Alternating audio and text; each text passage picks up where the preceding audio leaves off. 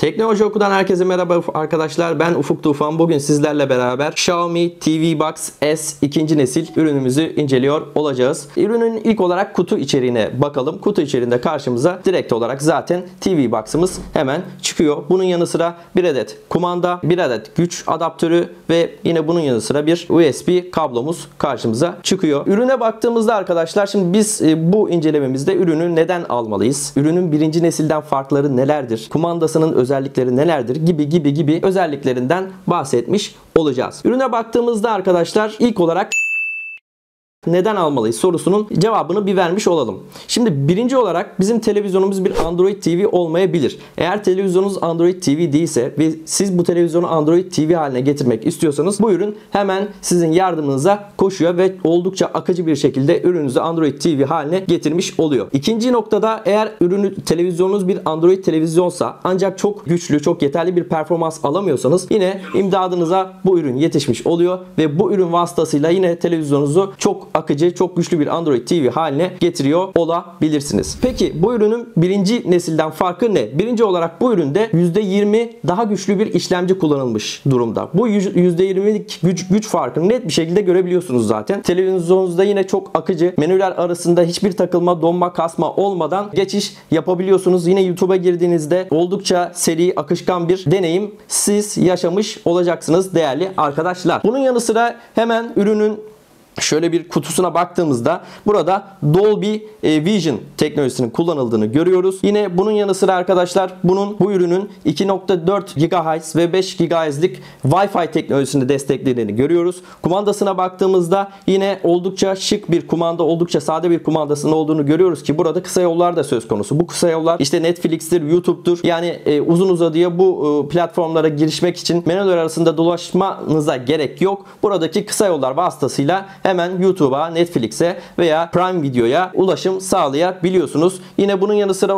ürünün arkadaşlar bir sesli asistanı da söz konusu ve bu sesli asistan yardımıyla yine arkadaşlar menüler arasında dolaşım yapmanıza gerek kalmadan hemen YouTube derseniz YouTube'a giriş sağlayabiliyor ya da Prime Video diyorsanız hemen ürün Prime Video'ya giriş sağlayabiliyor. Yani bu anlamda da oldukça iyi bir performans, iyi bir deneyim aldığımızı net bir şekilde ifade edebiliriz. Yine bunun yanı sıra arkadaşlar ürünün en önemli noktalarından bir diğeri de monitörlerinizi bile televizyon haline getirebilmesi. Monitörünüzde eğer bir hoparlör yoksa bir ses çıkısı varsa bu ses çıkışı vasıtasıyla yine bu ürün sayesinde çok iyi bir Android televizyon elde etmiş olacaksınız. Yani bir monitörünüz var. Bu monitörde bir ses çıkışı mevcut. Bu ürünü aldığınızda değerli arkadaşlar monitörü bir Android TV haline getirmiş oluyorsunuz. Şimdi arkadaşlar aklınıza gelen en önemli sorulardan bir tanesi ben bu kutuya hangi uygulamaları yüklüyor olacağım. Şimdi arkadaşlar bu kutuda zaten bildiğiniz gibi YouTube,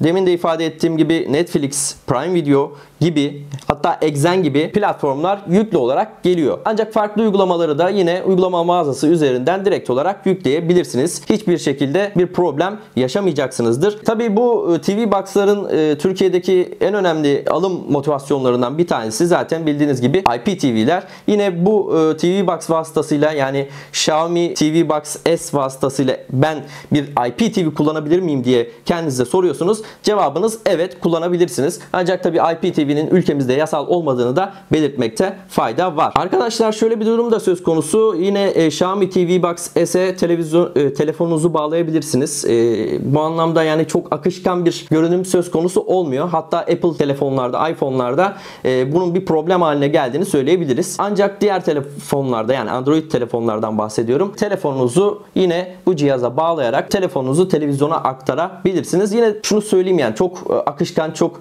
müthiş bir deneyim yaşamayacaksınızdır. Ancak yine de bu özelliğin var olduğundan bahsetmiş olalım. Yine bir başka e, aklımıza gelen nokta oyun. Yani ben oyun oynayabilir miyim? Evet oyun oynayabilirsiniz. Yani belli başlı oyunları oynayabilirsiniz. Ancak bunun için de yine bir kolu, bir kumandayı Bluetooth vasıtasıyla ürüne tanıtmanız ve daha sonrasında oyununuzu oynayabilirsiniz bu yöntemle. Ancak dediğim gibi yani oyun anlamında da deneyiminizin çok üst noktalarda olacağını söylesek doğru olmaz. Yani tabi bu bir TV Box en nihayetinde. Bu bir e, oyun ürünü değil e, ve bu ürünü alanın da nihai amacı oyun oynamak olmayacaktır. Dolayısıyla bu noktada cihaza çok bir şey söyleyemiyoruz. Ancak yine söylediğimiz gibi yani menüler arasındaki geçişkenlik hızı gayet iyi. He, bazı uygulamalarda donma kasma olabilir mi? Yerine göre olabilir ancak o uygulamayla alakalı olabilir. Çünkü biz ürünü deneyimlediğimizde herhangi bir e, menüler arası geçişte yani herhangi bir uygulamada YouTube'da olsun, Netflix'te olsun, Exzen'de olsun herhangi bir donma, kasma meydana gelmedi. Tabi bu ürünün yeni olmasıyla da alakalı olabilir. Yani belki zaman içerisinde bu ürünü kullandıkça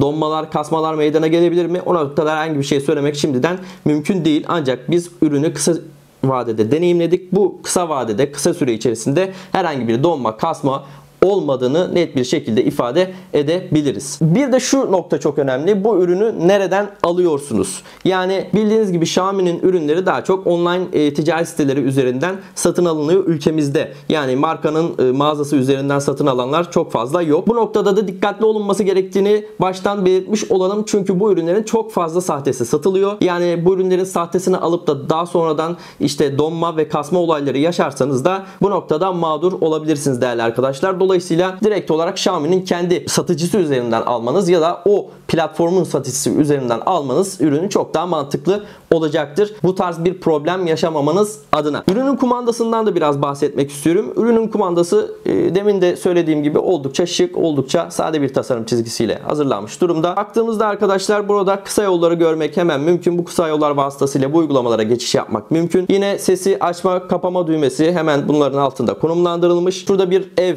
logosu söz konusu. Buna dokunduğunuz anda direkt menünün e, en başına dönmüş oluyorsunuz. Yine bir geriye dönme tuşumuz mevcut. Yine bunun haricinde arkadaşlar bir Google sesli asistan e, butonu söz konusu. Bu sesli asistan butonuna tıkladığınızda da yine arkadaşlar konuşup istediğiniz platforma, uygulamaya ya da istediğiniz noktaya dönüş sağlayabiliyorsunuz. Ve bu noktada da yine söylediğimiz gibi oldukça başarılı işler çıkarmış Xiaomi. Bu kumandanın en önemli özelliklerinden bir tanesi de Bluetooth'un en son versiyonuyla 5.2 ile çalışıyor olması. Bu anlamda da oldukça yenilikçi bir teknoloji kullanılmış ve kumandanın e, herhangi bir şekilde zaman kaybı olmadan çok net bir şekilde hemen sizin e, talimatlarınızı uyguladığını söyleyebiliriz. Ürünün kısaca kurulumundan da bahsedelim arkadaşlar. Oldukça basit bir kuruluma sahip. Burada görmüş olduğunuz adaptörleri zaten yerlerine takıyorsunuz. Güç butonu. Bunu da e, televizyona bağlıyorsunuz. Görüntü aktarımı açısından ve hemen kuruluma geçmiş oluyorsunuz. Sizin bir Google hesabınız varsa Google hesabınız üzerinden hemen kurulumları gerçekleştirebiliyorsunuz. Eğer bir Google hesabınız yoksa bir hesap oluşturuyorsunuz ve kurulumu yine bu şekilde gerçekleştirebiliyorsunuz.